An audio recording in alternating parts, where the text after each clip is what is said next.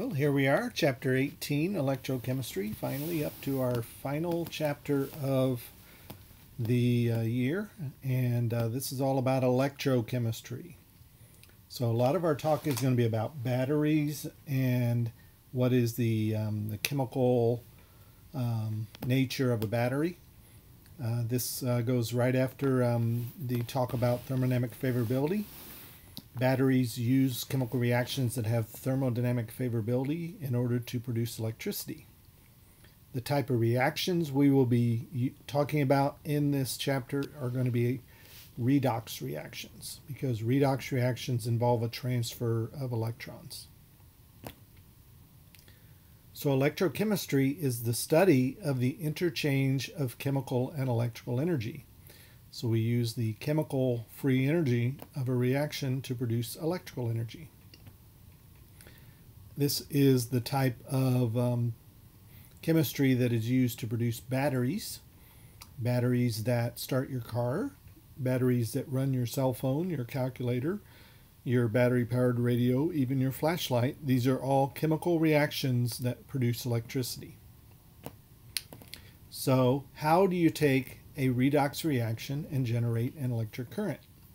You need to design a galvanic cell. So we call these galvanic cells. These are um, chemical um, setups that produce electric current from uh, redox reactions. For example, the redox reaction 8H plus plus permanganate plus 5 iron 2 plus makes Mn plus 2 and 5 iron 3 plus and 4 liquid waters is a reaction that you could design into a, a battery or a galvanic cell. Now the trick is to not run the reaction in one container. You want to run the reduction half reaction in one container and the oxidation half reaction in the other. And if you do that, but connect the electrodes in the two containers with wire, you can actually get the electron that's transferred from one uh, chemical species to another to have to pass through the wire. And as it lowers its uh, potential energy passing through the wire, that potential energy drop can be harnessed to light a light bulb, to spin a fan, to do a variety of things that a battery can do. So the reduction half reaction is the addition of five electrons. Remember, uh, gaining electrons is reduction. Um, 8H plus and a permanganate and 5 electrons make manganese 2 plus and 4 waters. This is not only balanced by atoms, it's balanced by charge. The oxidation reaction would be the iron plus 2 turning into the iron plus 3. This reaction would have to be multiplied by 5 because um, you want to get 5 electrons produced for every 5 electrons used up. So these are the two half reactions that add up to the reaction above. Now if you put these reactions in the same solution, you would just get the transfer of electrons between the uh, between the ions. But you want to make sure that the electrons have to flow through the wire to get to the other half reaction. And so you separate the two reaction, half reactions in separate beakers. So on the side that the diagram is labeling the anode, you're going to get the Fe plus 2 being oxidized to produce Fe plus 3. So we have the Fe plus 2 that's in the um, solution on the left in the left beaker. It's going to turn into Fe plus 3. It's going to convert to Fe plus 3 and the electron is going to move through the anode, the iron solid anode, through the wire to the light bulb, uh, a, turn on the light bulb, and then it's going to finish the circuit by moving over to the cathode. Now in this case, the reduction side is the cathode. We do not have anything on the reduction side that is a, um, a suitable electrode. We don't have anything over here that we could actually use as electrode. Everything is ions on the reduction side or liquid water. So instead, we take a chemically inert metal like platinum, which um, is not going to be reactive in the acid with the acid or the permanganate or anything on the right side beaker.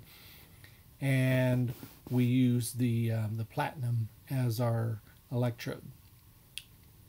So on the right side, we have the reduction reaction occurring as electrons are gained on the right side, lost on the left side, oxidation gained on the right side, reduction. So all it takes is connecting with the, uh, the wire to get the uh, electrons to flow from the uh, oxidation side to the reduction side. Now, um, if we uh, think about these electrons flowing, the negative charge would tend to build up on the right side as the electrons are flowing, which would then resist electrons continuing to flow to the right. So in order to maintain this steady flow of electrons, we need the salt bridge. The salt bridge contains ions, maybe uh, sodium and chloride or potassium and nitrate in this particular example. A salt bridge is going to be a high concentration of K plus and NO3 minus. Now it's going to have uh, like a, a, cotton plug on um, the bottom of this U-shaped uh, salt bridge um, on each side, but it will allow the movement of ions into the beakers that need um, ions to flow for charge balance. So if you're losing electrons from the left beaker, you would have nitrate ions flow in to the left beaker. If you're gaining electrons on the right beaker side to balance that negative charge, you would have um, uh, positive potassium ions migrating into the right beaker. So the salt bridge is important because truly without the salt bridge, you do not complete the entire circuit. You're moving electrons from left to right, but they need to come back um, at least the amount of charge needs to come back to the left side so that we don't have um, a buildup of electricity or electric charge on one side or the other. So our vocabulary is that that U-shaped tube that's upside down between the two um, beakers is called the salt bridge. So it's bridging the two beakers and it has some kind of ionic salt um, at a high concentration in there. Uh, you can also use something called a porous disc uh, that allows ions to flow through, although not easily. You, you don't want just um, ions flowing easily and mixing between the two sides. You want it to be controlled flow of ions just to maintain the electrical neutrality on each side. Um, but to allow some negative ions to flow into the side that is losing electrons and some positive ions to flow into the side that is gaining electrons. So the entire device is called a galvanic cell and it changes chemical energy to electrical energy. The electrode where the oxidation occurs is called the anode and the electrode where reduction occurs is called the cathode. So one way of remembering this is just this picture on the right. So just imagine a picture of an ox, because ox starts with a vowel, you have to say an ox, anode, oxidation, and a picture of a red cat, reduction, cathode. An ox, anode, oxidation, red cat, reduction, cathode. Now, you're going to get a voltage between the two compartments. Every battery has a voltage. Every galvanic cell has a voltage that's associated with it. And this voltage is called the cell potential. So the electrochemical cell potential is called the voltage is the name we give to the voltage between the two compartments.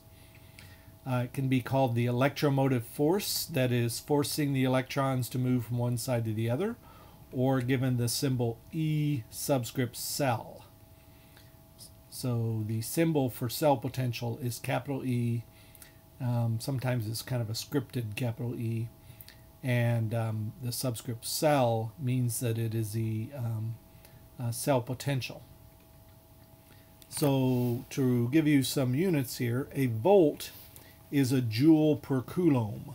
Coulomb is a measure of charge. Think of uh, Coulomb's law and how it talks about charge. Coulomb is a uh, is a, um, a, a unit for charge, and um, you might have remembered way way back talking about the um, number of coulombs in an electron when Millikan measured the uh, charge of an electron. He found it to be 1.6 times 10 to the minus 19 coulombs.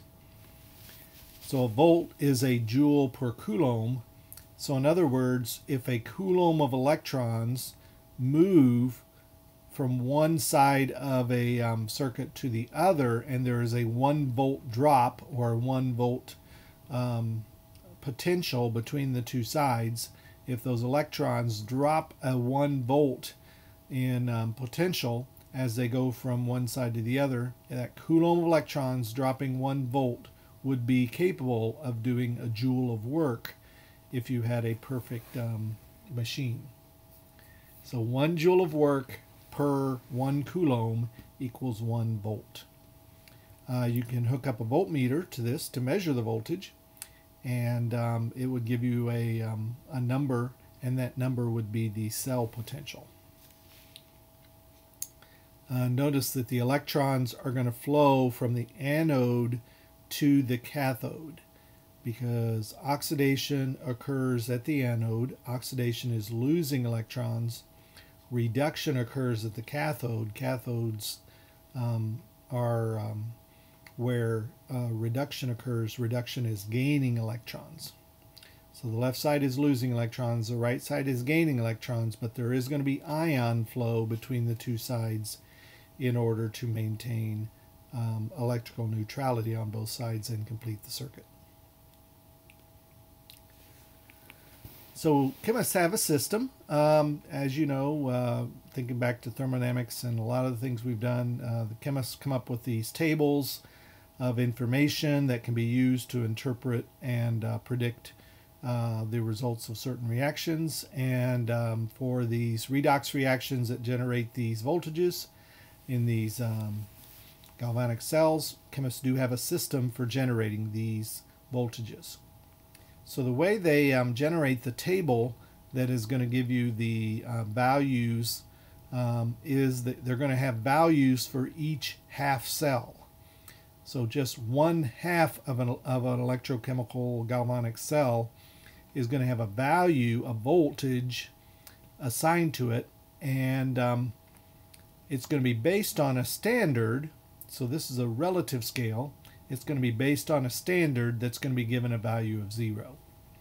So similar to the, um, the way we do with enthalpies of formation and Gibbs free energies of formation and also with um, the Celsius scale, in a similar way, we have a an assigned zero and then numbers are going to be given to other half cells. I'm calling uh, one half of this the half cell. Um, other half cells are going to be positive or negative depending on where they line up with that standard cell. So the standard cell that is agreed upon among chemists is called the standard hydrogen electrode. So it is a reaction where H plus turns into H2 gas. So these are done from this from the reduction potential point of view. So as you know, um, um, oxidation reduction reactions can be either oxidation or reduction. So these are the reduction uh, potentials. And um, for, um, for the standard hydrogen electrode, uh, you would have one molar H plus, and it would be um, in uh, uh, contact with um, um, a platinum electrode uh, because H plus and H2 do not make suitable solid electrodes. So you'd have a platinum electrode in the standard hydrogen electrode and then the H plus would be one molar and the hydrogen gas would be one atmosphere. All the ionic solutions are one molar, all the pressures of gases are one atmosphere, and the temperature is 25 Celsius so that we can consider it thermodynamically to be at standard conditions. Now, um, to test the uh, standard um, electrode potential or standard reduction potential of another half cell, you would simply pair it with the standard hydrogen electrode and measure the voltage. Now in this particular case, we are testing a standard, um, we're testing a zinc electrode to see what its standard reduction potential is. So zinc is actually, in this particular reaction, found to not be reduced, but rather to be oxidized. The zinc is being oxidized from zinc to zinc plus 2, giving up two electro electrons. Those are flowing over to the other side where the two electrons are being used to combine with two H pluses to make H2 gas. Now the overall reaction, the overall redox, um, redox reaction is going to be zinc plus 2H plus yields zinc plus 2 plus H2. Um, now, since electrons are actually flowing away from the zinc, instead of uh, from, from away from the zinc and over to the hydrogen side, we are observing here that hydrogen prefers, hydrogen ions prefer to be reduced over zinc plus 2 ions. So we have a choice here. We could be turning zinc plus 2 into zinc, or we can be turning H plus into H2. The thermodynamically favorable direction, um, according to um, what we see here with the electrons flowing from the zinc side to the hydrogen side, must be that hydrogen ions want to be reduced more than zinc ions. As a result, we are saying that the tendency to be reduced is less for zinc than it is for hydrogen. So since the voltmeter reads 0.76 volts difference between the two, we are going to give hydrogen the value of zero and the zinc electrode and um, the zinc half cell, we're going to give it the value of negative 0.76 volts, meaning that it is less inclined to be reduced than hydrogen. Anything with a positive uh, standard reduction potential is more inclined to be reduced than hydrogen, and we would see the hydrogen gas turning into H plus if we paired it up with something with a positive voltage. So, according to this uh, diagram, the zinc anode is where we're going to see oxidation occurring, and uh, the standard hydrogen electro electrode is where we see reduction occurring. So we, uh, we take the voltmeter reading and it tells us the difference in reduction potential between zinc and hydrogen. And by the electron direction of flow, we determine that the zinc side is negative 0.76 volts. So the thermodynamically favorable direction for this is 2H plus plus zinc yields zinc plus 2 plus hydrogen. So the zinc electrode is actually where the oxidation is occurring. The hydrogen electrode, the standard hydrogen electrode, is where the um, reduction is occurring. So we paired up the zinc half cell, the anode, with the hydrogen, standard hydrogen electrode half cell, the cathode. The voltage of 0.76 volts tells us the difference between the two sides. And everything of course is one molar and the gas hydrogen on the on the right side is one atmosphere so the zinc electrode on the left the zinc anode is simply pure metal zinc which is the standard state for zinc for zinc. Um, on the left side because zinc atoms are losing electrons we would see zinc plus 2 dissolving into the solution. So the concentration of zinc plus 2 is going to be increasing and the amount of zinc anode is going to be decreasing. So you're actually going to find that the zinc anode slowly dissolves into the solution. And on the other side, we are going to see that the H plus ions concentration is going to be decreasing and uh, the molarity of H plus on the on the right side will be going down and the amount of H2 gas is going to be increasing. Now this reaction actually will occur in one beaker. You can just put a piece of zinc metal in an acid and the H plus from the zinc metal and the or H plus from the acid and the zinc metal atoms will turn into zinc plus 2 and, and bubble off hydrogen gas. But it's separating them into two half cells that lets us control the electron flow through the wire connecting the two half cells. Now because zinc plus 2 is forming on the left, you would need some ions of the negative charge. Uh, in this case, in the salt bridge, you've got sodium chloride you'll have some chloride ions that will flow into the uh, the left side beaker in order to uh, balance the charges because you can't just add zinc plus 2s without having negative charges in there to go with it. So chloride would flow in. On the other side, sodium ions will flow in to replace the hydrogen ions that are turning into neutral hydrogen gas. We use platinum inert electrode uh, anytime we don't have a suitable metal in the reaction for that particular side of the um, of the galvanic cell. So the trick to finding that value of um, the voltage for the voltage is that the um, the voltage of a standard cell, remember one that has one molar and one atmosphere and 25 Celsius, this the galvanic cell's voltage, the battery voltage, if you want to say it, is the standard reduction potential of the cathode minus the standard reduction potential of the anode. Now over on the right here we see a lot of reduction reactions. They're all written in the reduction direction, but they can be run in either direction. Um, you can run them forward as a reduction or in reverse as an oxidation. And in fact, what you're going to have is one of the reactions will run forward, and that will be the reduction reaction will be happening at the cathode.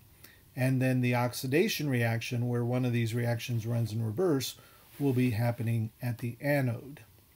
Now, to be thermodynamically favored, we need the pairing of the cathode and the anode to give us a positive voltage. So whichever direction gives a positive voltage. So another way of looking at that is you can kind of see in this table, it's like a number line. You have zero being the standard hydrogen electrode, and then all of the positive numbers are listed in order from low to high on the on the um, uh, above and on the left side, and then the negative uh, values for standard hydrogen or standard reduction potential are listed from small to large as you go down on the in the right column. So the trick is to choose a half reaction from the higher numbers to be the cathode and one from the lower numbers to be the anode. As long as, if we think of this kind of like a number line, as long as the cathode has a larger E naught, a more positive E naught um, than the anode. Um, and it doesn't have to be a positive and a negative. It could be two positives, but one of them will be more positive than the other, and there will be a difference. And the difference from the cathode to the anode, from the larger voltage to the smaller voltage, larger voltage minus smaller voltage, will be a positive number. So the half reaction higher on the table runs forward reduction, while the half reaction lower on the table will be the oxidation step, and you'll simply flip it and add it to the other reaction. So this is how um, the galvanic cells work. They will always flow uh, electrons in the direction that gives them a positive voltage.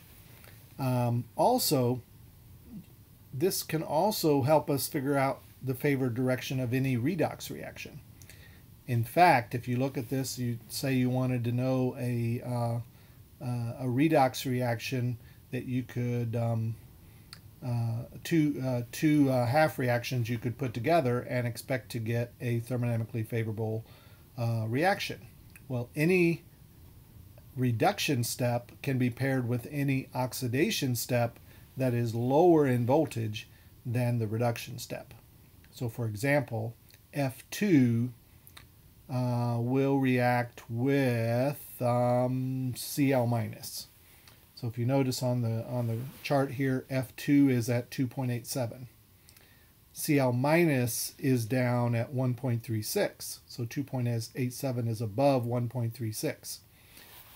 In the uh, 2.87 number, F2 is a reactant, but the Cl minus is a product in the 1.36. But you wouldn't leave it as a product. You would flip the reaction, um, and you would have Cl minus turn into Cl2. So the overall reaction would be F2 plus C, 2Cl minus yields uh, 2F minus plus Cl2. And the two electrons would cancel out on each side. And so by flipping the lower reaction and adding it to the upper reaction unflipped, you can create a combination of two half reactions that would give an overall thermodynamically favorable um, entire redox reaction. And you could also make a battery out of it. Whatever the difference in the two voltages are would be the voltage of that battery uh, if you used standard conditions. So let's look at making a galvanic cell uh, using zinc and copper. So the galvanic cell is going to use the reaction solid zinc and copper plus 2 makes copper metal plus zinc plus 2 if you put a piece of zinc in a solution of copper plus 2, you will find that the piece of zinc dissolves while the copper comes out as a red-brown solid. Um, it is a, uh, a, single replacement reaction. Um, zinc goes into solution, but the copper turns back into copper metal. So in this particular case, it looks like we're adding electrons to copper plus 2 to make copper. So that's going to be the reduction side or the cathode. And the oxidation side is going to be that the zinc metal turns into zinc plus 2 plus 2 electrons. Now, the E naught for these two reactions can be found in the table. Um, the copper plus 2 reaction is found at 0.34 volts over in the upper right. Copper plus 2 plus 2 electrons yields copper. The zinc um, elect, uh, reaction, the zinc reaction, is found at negative 0.76, but it's written as zinc plus 2 plus 2 electrons yields zinc. Now notice it's below the copper reaction, so that means we would flip it, and it would become zinc yields zinc plus 2 plus 2 electrons.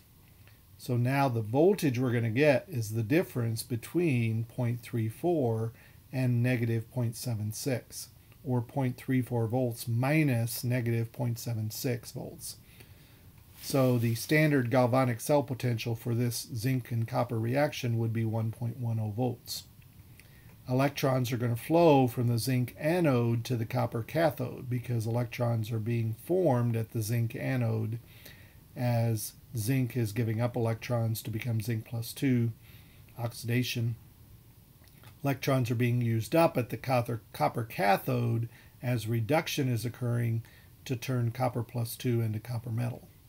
We would notice the zinc electrode um, would lose mass and dissolve. The copper electrode is actually gaining mass as copper plus 2 ions stick to the copper electrode.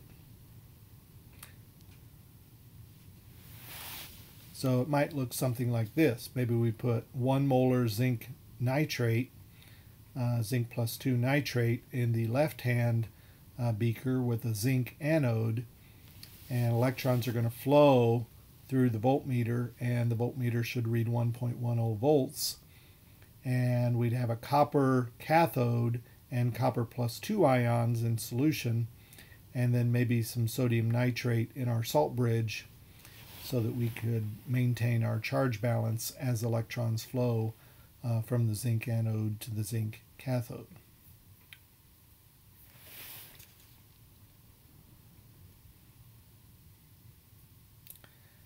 Now, um, the zinc anode would lose mass, the copper cathode would gain mass over time, and uh, we have a special type of notation for this. Uh, we always start with the anode, uh, we call it the line notation. We start with the anode on the left and give its two components. And so that would be the zinc electrode and the zinc plus two ions in solution. And we put a vertical line between them. And then we use a double line to separate the anode from the cathode. And on the cathode side, we would write the copper plus 2 ion as being the um, uh, ion that's going to react in solution, and then the copper metal as being the electrode, the cathode on the right side. So that little notation can be used to describe that picture above. A zinc electrode, zinc plus 2 ion in solution, a copper plus 2 ion in solution, and a copper electrode. So let's review here galvanic cells. A complete description of galvanic cell usually includes four items. You'd want to know what the cell potential was, and it's whichever direction, cathode and anode choice, gives you a positive voltage. So the E naught cathode needs to be larger than the E naught anode because E naught cathode minus E naught anode will give you a positive E naught of the cell or the cell potential. Um, you also want to know what the balanced uh, cell reactions are. So you want to put the um, uh, reduction at the cathode together with the oxidation at the anode into a complete chemical equation if you're going to describe what's happening in the galvanic cell. Uh, usually you want to know what the direction of the electron flow is, and that can be determined by seeing which side of the reaction, uh, what's giving up the electrons and what's gaining uh, the electrons. Uh, the anode is where oxidation is occurring. The cathode is where reduction is occurring, so you'd want to designate those and then you'd want to decide what would be your electrode and what are your ions present in each compartment. Remember, if you don't have a metal that's capable of being your electrode, you can always um, use a chemically inert conductor such as platinum as the electrode on that particular side.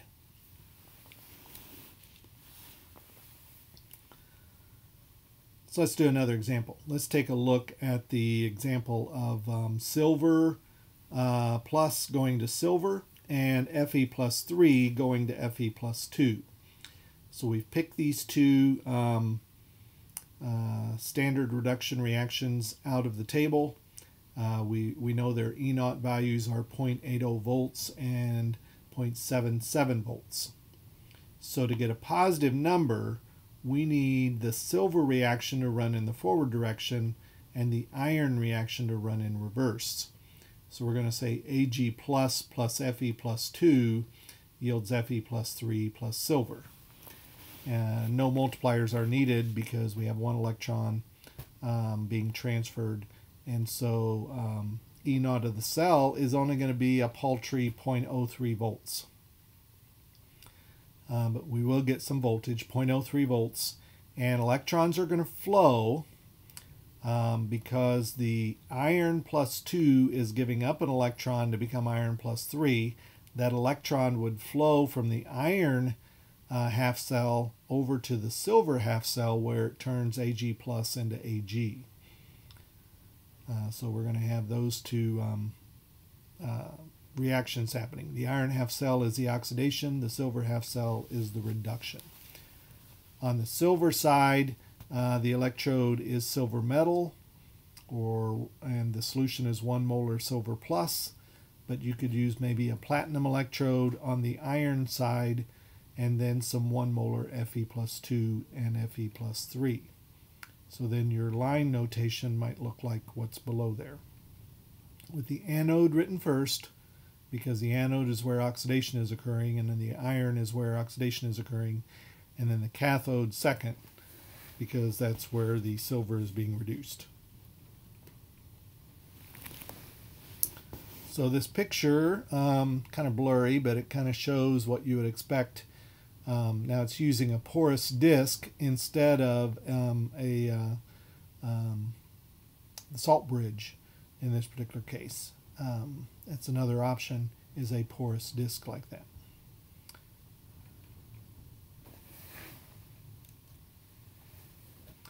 The driving force behind these thermodynamically favor favorable reactions that give us these uh, positive voltages is called the electromotive force or EMF. It's given units of volts. Um, volts are going to be the work in joules divided by the quantity of charge in coulombs. So one joule of work done when one coulomb of electron uh, electrical charge is transferred uh, between uh, two positions in the circuit that have a difference of 1 volt. Now the maximum work is going to be negative QE, uh, where uh, Q is the charge and E is the voltage. So if you think about it, work equals QE. Now the work is negative because we consider if the uh, cell or the um, the system is is may, is is uh, creating work or doing work, that's a loss of energy from the system. And a battery, as it as it moves electrons through a circuit, will lose energy over time. We know that batteries run down, right?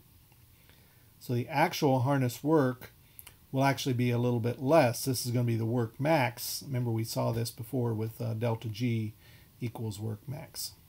So since delta G equals work max, then we could say that delta G equals negative NFE. Um, or delta G naught equals negative NFE naught. So N uh, being the number of coulombs, um, F being a converter that lets um, uh, lets you uh, convert the um, the coulombs to uh, uh, moles of electrons, and then E naught being the uh, voltage. Um, actually, I'll take that back. N is not the number of coulombs. N is the number of electrons that are being transferred in a particular um, uh, redox reaction. Sometimes you have one electron or two electrons or so forth. So the Faraday constant is actually, uh, it's called capital F, it's the number of coulombs it takes to make a mole of electrons. It actually takes 96,485 coulombs of, of uh, charge to equal one mole of electrons.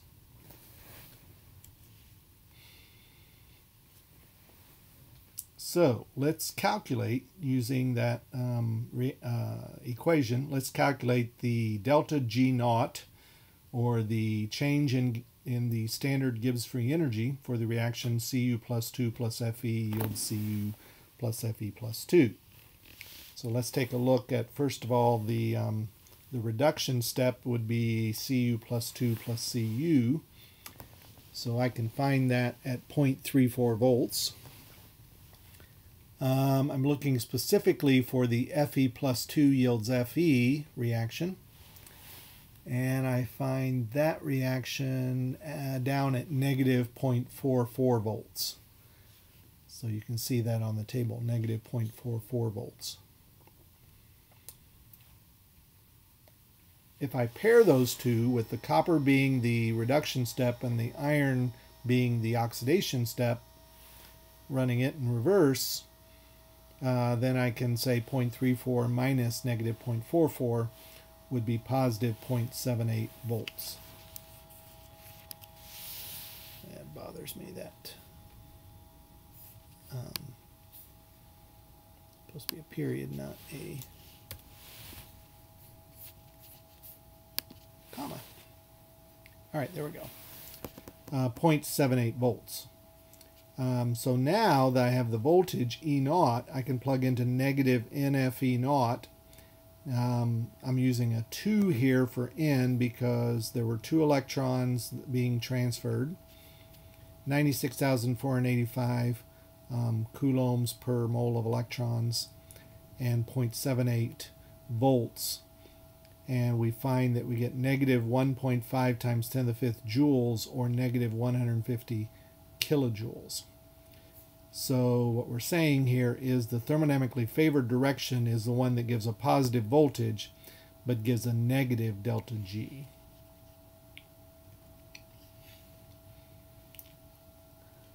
Um, here we've got the copper metal and the cerium plus 4 becoming copper plus 2 and cerium plus 3. Now this is being made into a um, uh, galvanic cell with a voltage of 1.36 volts under standard conditions. Now, if we look at this um, reaction as an equilibrium, what would happen if under standard conditions, we have one molar Ce plus four, but then if what if we go non-standard and increase it to over one molar?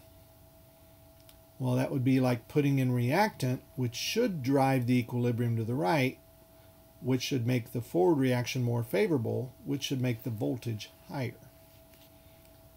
So the forward reaction would be even more favored than it is under standard conditions, and as a result, you would get even more work and more voltage uh, from that particular arrangement. So that would be a way of looking at non-standard conditions. Uh, if you were to increase the concentration um, of cerium plus 3 and copper plus 2, we would find that uh, increase in concentration of those two ions would resist the forward direction, which would lower the voltage. Let's look at another example of that. We got two aluminums and three uh, manganese 2s making two Al 3s and three manganeses. E naught here is 0.48 volts. So we know that's 0.48 volts if the manganese plus 2 is 1 molar and the aluminum plus 3 is 1 molar. So what if we made the aluminum plus 3 2 molar? Well, that would be increasing the amount of product, which would shift the equilibrium to the left, which would make it less favorable in the forward direction, which would lower the voltage. I would expect E of, e of the cell to be smaller than E naught. Uh, if I instead increase the amount of manganese plus 2 to 3 molar, that would then push the uh, reaction to the right, which would increase the voltage of the, of the galvanic cell. Smaller in the first case, larger in the second case. Now, since changing concentration can change your cell potential, it is actually possible to construct a galvanic cell with both half cells constructed the same except for concentration. You can actually have silver metal and silver ion on one side and silver metal and silver ion on the other side. But if they have different concentrations, you will actually um, create a situation where there's going to be one direction that's going to be favored. Um, what you would actually see is electrons are going to flow from the side that has the lower molarity of silver plus 1 uh, the left side has 0.1 molar, the right side has 1 molar. So that would cause the silver um, anode to oxidize and form silver plus 1 ions and dissolve. Meanwhile, the silver plus 1 on the right side would um, uh, reduce and form silver metal and plate out onto the silver electrode on the right side as electrons are gained. So in this case, we would corrode away the silver on the left and we would form the silver on the right. And this would actually be thermodynamically favorable in the forward direction until the two molarities on the two sides became equal. The molarity of silver on the left would increase, the molarity of the silver on the right would decrease. Electrons would flow from si the side with the lower concentration of silver to the side with the higher side until the two sides had equal concentration. So now we can not only find the delta G under standard conditions, we can actually find the delta G um, under um, non-standard conditions, remember, by using delta G equals delta G naught minus, or plus rather RTLNQ. That was a chapter 17 equation for non-standard conditions. Since we know delta G is negative NFE, um, negative NFE equals negative NFE naught plus RT ln Q.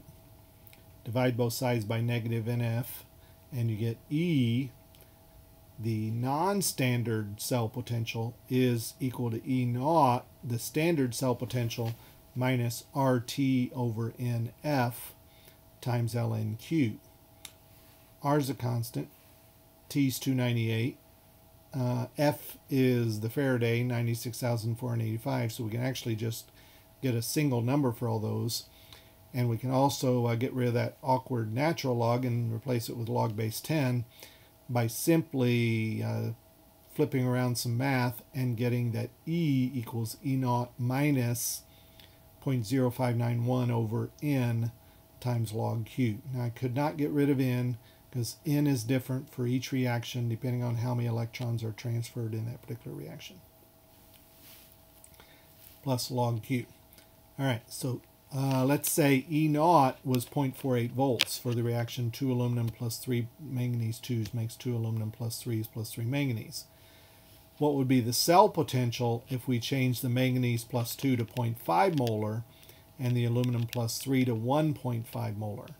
Now, I would expect the cell potential to go down because we are um, lowering the amount of reactant and increasing the amount of product.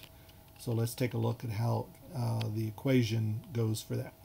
E would be E naught, 0.48 volts, the standard reduction potential, or standard uh, cell potential, minus 0.0591 over 6 there's actually six electrons transferred from the three manganese plus 2s to the two Al plus 3s. Um, no, the other way. Six electrons transferred from the two Als to the three manganese 2s because the aluminum is losing electrons and oxidizing. The uh, manganese is gaining electrons and being reduced. So it's six electrons being transferred, so it'd be N would equal 6 and now we're going to be, do the log of 1.50 squared over 0.50 cubed. The aluminum, the aluminum and the manganese are not included in Q because they're not aqueous. Uh, it turns out it's only a small change in the voltage. It only drops to 0.47 volts. But it is lower, and that's because uh, decreasing the amount of reactant and increasing the product concentration makes the reaction less thermodynamically favorable. So that's actually what occurs over time in a battery. In a battery, over time, the concentration of the reactant side is going to decrease and the concentration of the product side is going to increase. And so the voltage will slowly come down 0.48 volts, 0.47 volts, 0.46 volts.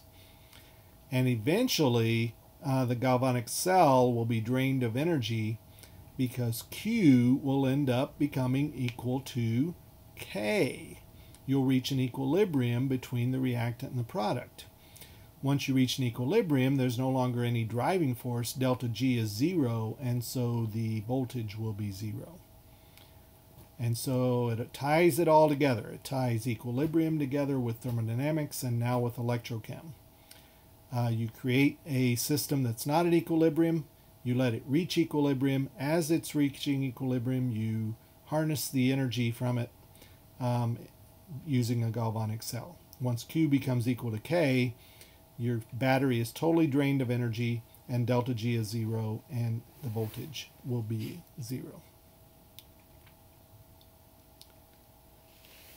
You can actually create electrodes that are sensitive to a particular ion and um, since you can get a voltage like a concentration cell can uh, get a voltage depending on the concentration of the ions, it is possible to create a pair of um, uh, elect, uh, kind of an electrode that sort of pairs a, a uh, concentration of known molarity to one outside the uh, electrode that has um, an unknown molarity and you can actually get the molarity of the unknown solution by measuring the voltage between the reference electrode and the um, the electrode that's uh, uh, that's using that's uh, exposed to the solution outside. pH meters actually use the H plus ion concentration. It measures the H plus ion concentration as a voltage between um, the solution and the um, the electrode and the ion selective electrode is selective for H plus ions. And so that's actually how you can get a digital pH reading uh, from a uh, solution um, by measuring the ion concentration by a voltage difference. We can also use the Nernst equation to solve for equilibrium constants. E equals E naught minus 0.0591 over N log Q. Well, at equilibrium, E is going to be zero and so if you take that, you'll find that log k, because we convert q to k at equilibrium, log k is going to equal n e naught over 0.0591. So let's say we have the reaction SO, S4062 minus plus 2Cr2 plus yields 2Cr plus 3 plus 2S2032 minus. And we want to know what the standard reduction, uh, or actually the uh, standard um, galvanic cell potential is for that E naught, and what the K value is for that equilibrium. Well, the two half reactions are shown, and their E naught values are shown. Um, if you uh, flip the, uh, actually the uh, second reaction is already flipped uh, in this particular example. Um, it's already written in the oxidation direction, but your two voltages from the standard reduction potential table are given as 0.17 volts and negative 0.50 volts. So when you take the um, standard uh, voltage of the ele uh, electrochemical cell, it's 0.67 volts. Uh, so log K equals, uh, there's two electrons being transferred, so N is 2, times 0.67 volts, over, another misprint here, forgot the, uh, got the separation uh, division sign there. Okay, there, I got it fixed. Over 0.0591 which gives us a k equal to 10 to the 22.6, or 4 times 10 to the 22. So you can see this reaction is highly favored going to the right, and um, that's evident by the fact that you get 0.67 volts out of it. So then how do these become batteries? Uh, you don't have to just have one cell. You can actually put a series of cells together to get a higher voltage. For example, your car battery uses a reaction at the anode with lead solid becoming lead plus 2 and precipitating as lead sulfate, and at the cathode, lead oxide becoming lead plus 2, and um, that overall reaction ends up uh, giving a voltage around 2 volts. Uh, typical car battery is going to have six of those voltaic cells connected in series to make a total of 12 volts. Um, and uh, H2SO4 is going to be your electrolyte that you're going to be, um, all of these uh, electrodes are going to be placed in. As the reaction occurs, the um, concentration of the sulfuric acid goes down and the density of the uh, uh, battery acid will decrease. And that's actually one way of sort of measuring the charge of the battery is to measure the density of the um, acid in the battery. If the density goes down too much, the battery needs to be recharged. There are also dry cell versions. Now, I'm just going to say here, I'm not going to go into a lot of detail on these applications. Um, AP tests will mainly be testing you on theory and math.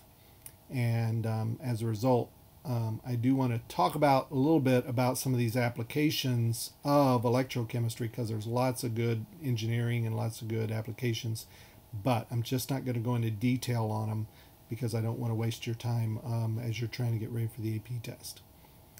But there are dry cells that um, use a, um, a, zinc and a manganese dioxide reaction. Um, and uh, usually they they have uh, some kind of electrolytic paste.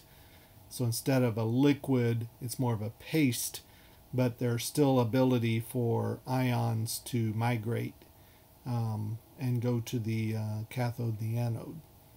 Um, the anode is where oxidation occurs, and the cathode is where reduction occurs. And so you can have the dry cell acid version, which is called the Leclanche cell, or the alkaline battery that we're probably all familiar, familiar with, the Energizer, the Duracell batteries. Um, and they are actually uh, using um, uh, alkaline or basic uh, conditions in an alkaline battery. The dry cell uh, battery with the acid version uses an acidic solution instead of a basic solution, but very similar. Um, and uh, you're using a pair of um, reduction reaction paired with an oxidation reaction to get a voltage um, out of these. Usually they give you 1.5 volts. So if you want a 9 volt battery, you actually put six 1.5 volt cells in series. There are other kinds of redox reactions that are used to make batteries. Uh, there's ones involving silver, so some like some little button batteries that, that claim there's no mercury in them. Those are the ones that, that are using a silver reaction. Uh, there are some button batteries that use mercury, um, so they're not quite as good for the environment or, you know, give the danger of poisoning if they corrode or, um, or a leak. So uh, you have these mercury batteries that use a zinc and mercury oxide reaction. And then you have the lithium ion batteries, uh, the lithium um, ions transferring between the anode and the cathode. Uh, the lithium is a, uh, a, popular choice because of its light weight. Think about the light, uh, you know, mercury and silver, those are heavy metals. Lithium is a lightweight metal. And so for carrying around in your um, uh, cell phone or uh, using in a drill or um, maybe even a Prius, some type of electric car, lithium uh, ion batteries are a popular choice because they're lightweight. Um, a similar to a battery is something called a fuel cell. Um, and uh, fuel cells also do electrochemical reactions to produce electric current as well. So here's a diagram of a hydrogen and oxygen fuel cell. So um, although these are not uh, commonly used in everyday life, um, batteries are preferred. Uh, fuel cells have been used, for example, in space travel um, and some of the high tech applications like that. Uh, if you remember the Apollo 13 uh, movie, um, in, in actuality, it was the hydrogen tank and the oxygen tank that was supposed to be generating the electricity um, that, that had an explosion. Um, uh, then that's what uh, messed up the Apollo 13 mission. Uh, luckily, they were able to get everybody back uh, safely, but they were not able to land on the moon because of a, a uh, uh, explosion in a hydrogen and oxygen tank, and um, they uh, they were using that hydrogen oxygen to generate electricity by a fuel cell.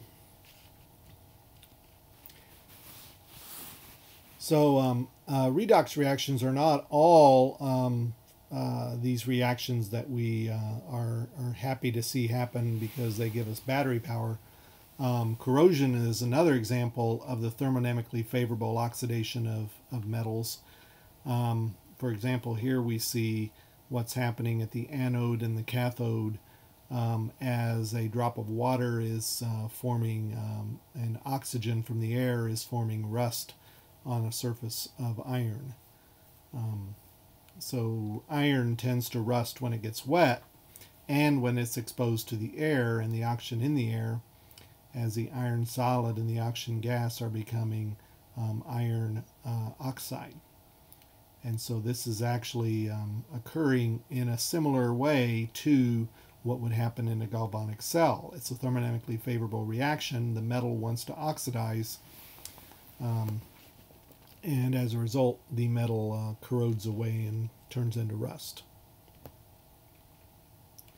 There are ways to prevent this. One way is by coating steel with zinc, because zinc actually rusts uh, easier than um, iron does. But unlike iron, where the uh, the rust tends to uh, dissolve away or flake off and expose the unreacted um, uh, iron underneath to more reaction. Um, typically, if you um, if you have zinc covering your iron, um, the zinc will corrode and turn white, but then that patina, that white colored coating, will actually be fairly strong and stick to um, the surface of the iron and tend to block airflow and water flow to the iron underneath. And so we call this galvanized steel. So if you have um, some nails that are galvanized, it means they're coated with zinc to try to protect the uh, steel in the uh, or the iron metal in the in the nail from corrosion. Often it's done with uh, metal roofing. They'll they'll put zinc on it.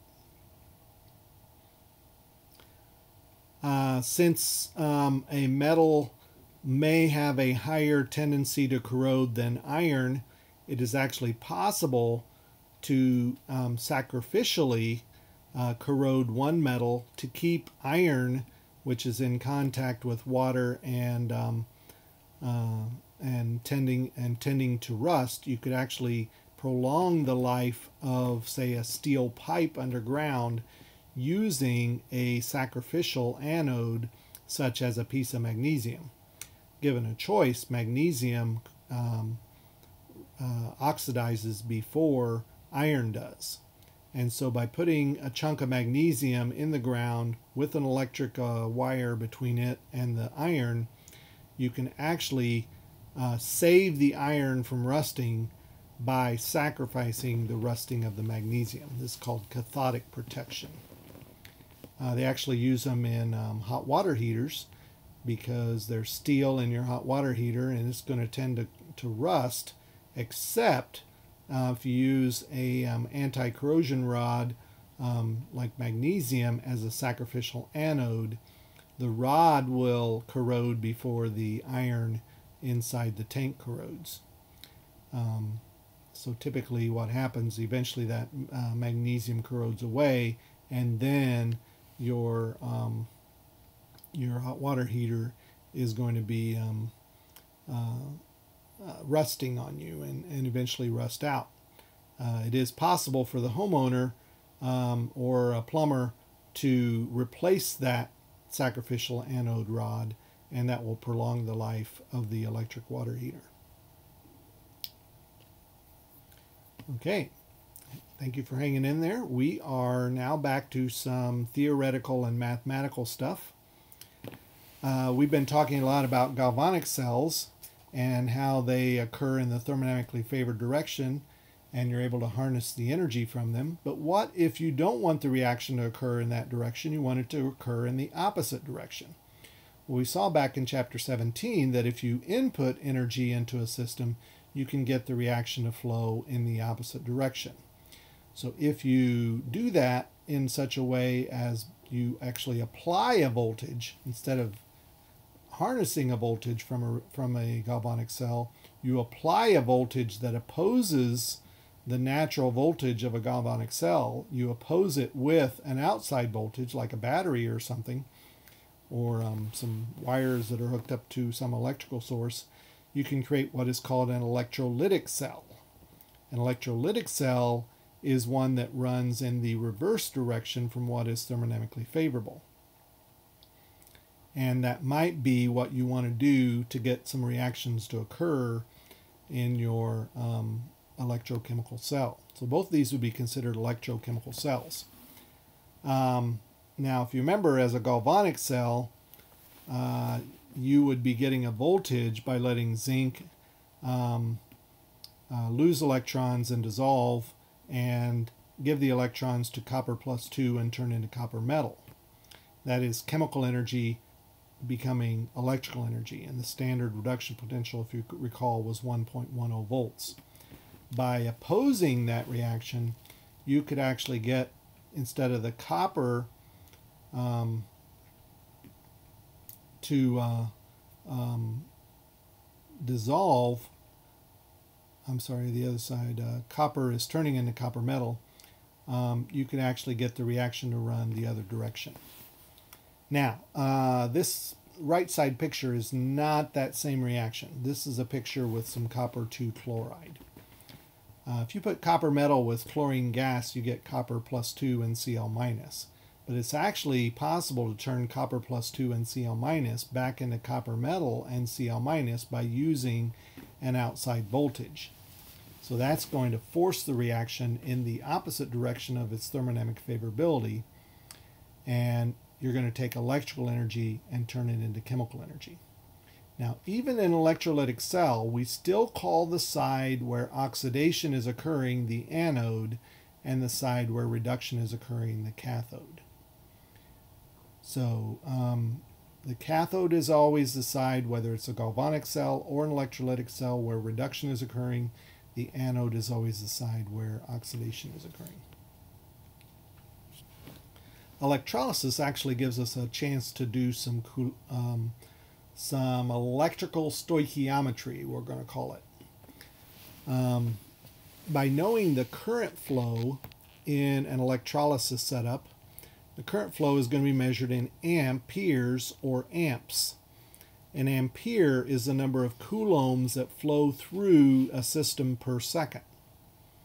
So you can take the current in amperes as the coulombs per second, multiply by the number of seconds, and get the quantity of charge in coulombs. Then you can change that charge to moles of electrons using the Faraday constant, 96,485. And then from the moles of electrons, you can figure out by how many moles of electrons give you how many moles of chemical you can actually calculate the moles of chemical that will be oxidized or reduced and then using atomic weight or formula weight you can turn it into the grams of the substance that is oxidized or reduced. So an example of this would be let's say I'm using electrolysis to plate copper onto a metal. So I have a copper anode which is going to be corroding away to make copper plus 2 and then the copper plus 2 is going to plate onto some other metal on the left side where the which is the reduct um, where the reduction is occurring and that is called the cathode. So let's say I have this setup that I have on the right here with a copper anode and some metal as my cathode and I've hooked them up to the battery with the correct orientation on the battery to create a voltage that's going to be greater than the voltage that the thermodynamic favorability direction has, and so it's going to run it in the opposite direction of what is thermodynamically favorable, and we're going to get copper metal to plate out onto the um, metal electrode on the, uh, the metal cathode. So normally ca uh, copper would be the cathode, but in this case it's going to be the anode. So we have this set up, and we run 10 amps of current through it for 30 minutes and we want to know how much mass of copper we're going to plate onto that piece of metal on the left side.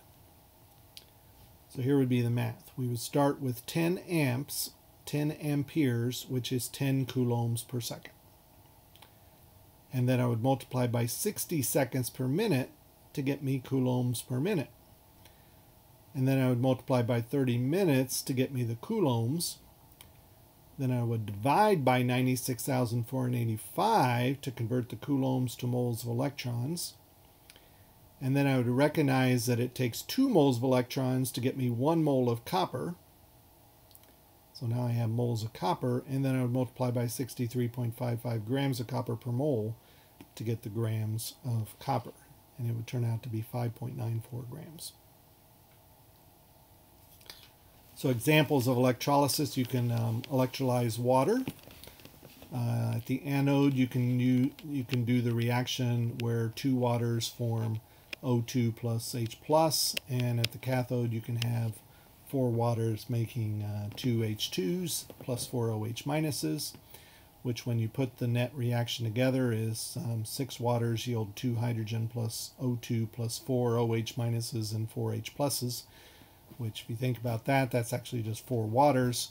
So it really kind of simplifies down into two waters makes two hydrogen plus oxygen. Now that is actually the unfavorable direction. If you think about it, two hydrogens and one oxygen should burn to make two waters. That's the thermodynamically favorable direction. This has an E naught that's negative, 2.06 volts, not the positive voltage you'd expect out of a um, thermodynamically favored direction. So we're going to have um, one molar hydrogen on the anode side and one molar hydroxide on the cathode side. And that means that the outside battery supply that's going to make this reaction occur is going to have to be at least 2.06 volts. That will have to be uh, oriented in a direction that will oppose the um, the 2.06 volts that the natural direction of this reaction wants to have. Uh, you would have platinum electrodes here because none of these ions or molecules are a suitable um, electrode. And um, you would make oxygen gas on one side on the anode side, and you would make hydrogen gas on the cathode side. Uh, you could try this with pure water, but it won't work because you need an electrolyte. You need something in there, usually, well, the uh, example used here is dilute sulfuric acid is used to allow electrons to continue to flow um, through the system and allow the reaction to occur. This particular setup, which lets you pour acid in and then turn on the battery supply and generate oxygen and hydrogen gas, because um, who doesn't want some oxygen and hydrogen gas out of water, right? Is called the Hofmann apparatus. Uh, let's say that we decided to try to electrolyze a mixture of ions, some silver plus 1, some copper plus 2, and some zinc plus 2. And I wanted to know that if I slowly turned up the voltage, which ions would um, plate out first. Well, the ones that plate out first are the ones that are more easily um, reduced or in other words, that the ones that have the higher standard reduction potential, the higher potential to be reduced. So in the case of silver plus 1, copper plus 2, and zinc plus 2, it would actually be the silver that would plate out first because it has the higher E naught. The copper plus 2 would plate second, and then the zinc plus 2 would plate third.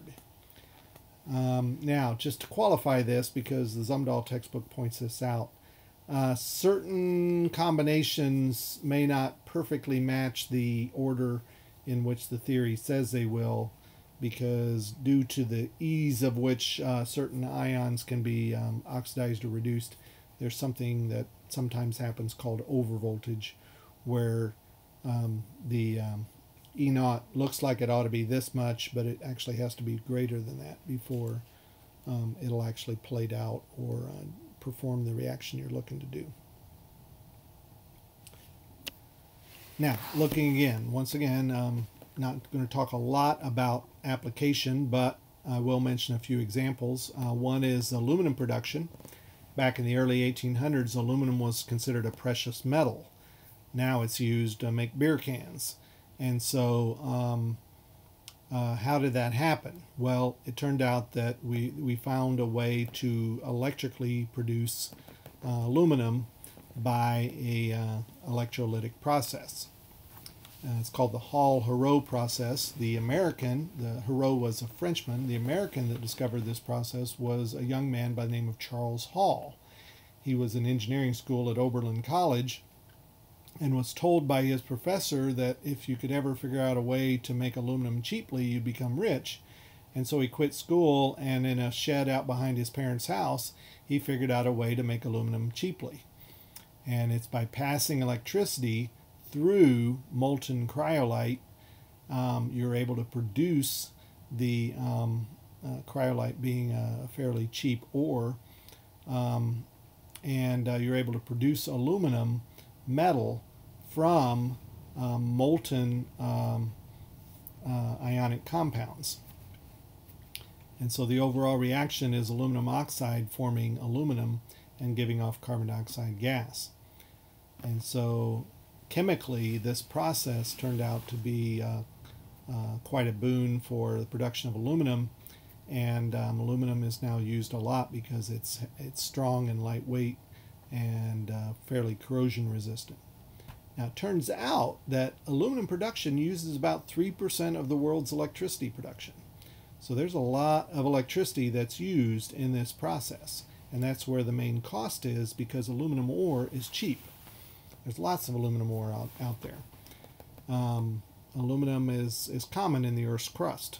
So it's not hard to find aluminum. That's not where why aluminum is a precious metal. It's, be, it's the difficulty in turning aluminum plus 3 to aluminum uh, neutral to make it a metal, uh, but it can be done using electrolytic processes. electrolytic processes can be used to electro-refine metals.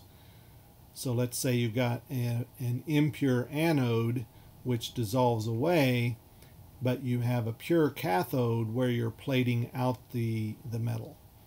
So that would be a way of electro-refining the metal. You could take a uh, metal that's got a lot of impure impurities and other metals alloyed into it, and by passing electricity through an electrolytic uh, cell, you can uh, generate the pure metal by plating it out. Uh, maybe you just want to plate a certain metal onto a different metal. Let's say you have an iron spoon and you want to coat it with silver to have electroplated silver on your silverware. Uh, that's possible using a battery and a, an electrode of silver.